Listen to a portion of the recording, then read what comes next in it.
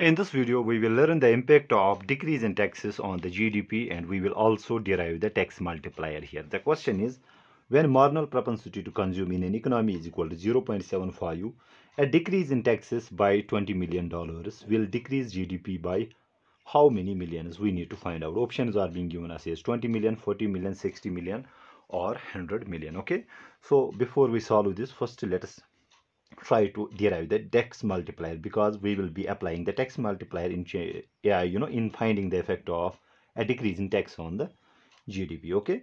So uh, as we know that and let me be specific here our national income identity is that is total income is either used for consumption purposes or it is used for investment or for government spending okay? We know this uh, relationship very well consumption we know consumption is equal to the autonomous consumption plus b denotes the marginal propensity to consume times the disposable income.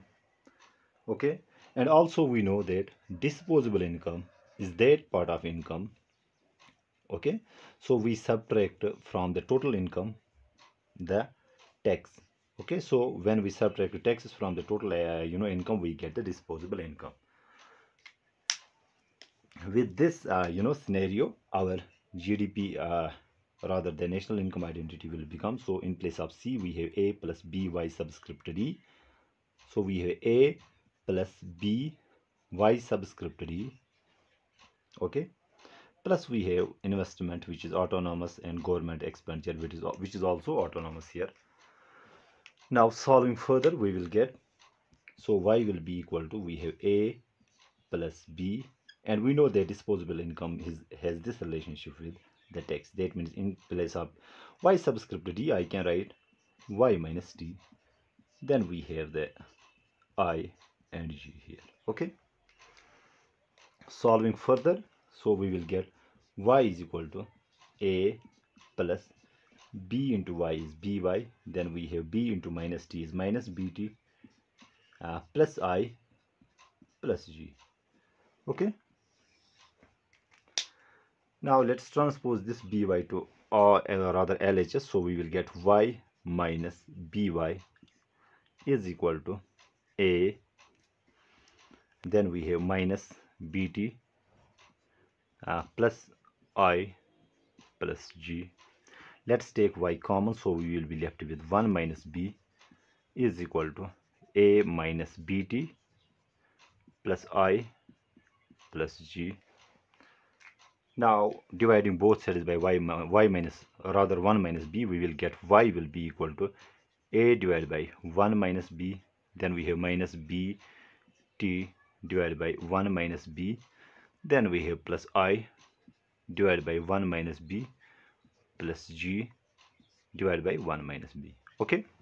Now we can solve the question and we can find out the tax multiplier. Now we need to find out the effect of the change in tax on the total GDP. That simply means we want to find out the change in the income due to change in tax. That means we take the uh, partial derivative rather the differential with respect to tax here okay so since t is here the derivative of t will be 1 and in the first term since no t is involved its derivative is 0 in the third term, no t is involved. Again, its derivative is 0. And in the last term also. t is only in the second term and derivative of t will be 1. So we will be left with minus b divided by 1 minus b. This is our tax multiplier. And where this b denotes the marginal propensity to consume. Now, now we have the question that tells us MPC is equal to MPC is equal to 0.75 okay? We are being told that a decrease in taxes okay? By decrease in taxes i can write del t.